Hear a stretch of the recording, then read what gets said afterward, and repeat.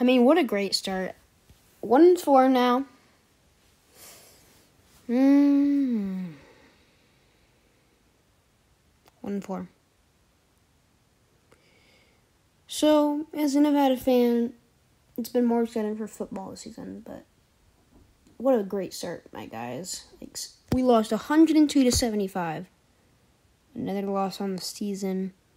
Let's check out the stats. Warren Washington, 20 points, 0 assists, 6 rebounds, an okay game. I don't even know what to expect anymore. They can score points.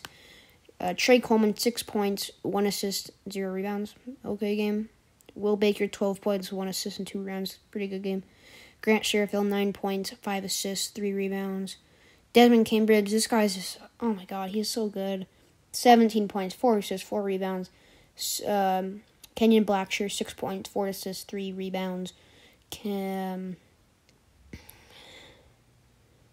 um, AJ Bramah, 4 points, 0 assists, 4 rebounds. Uh, Daniel Foster, 0 points, 1 assist, 1 rebound.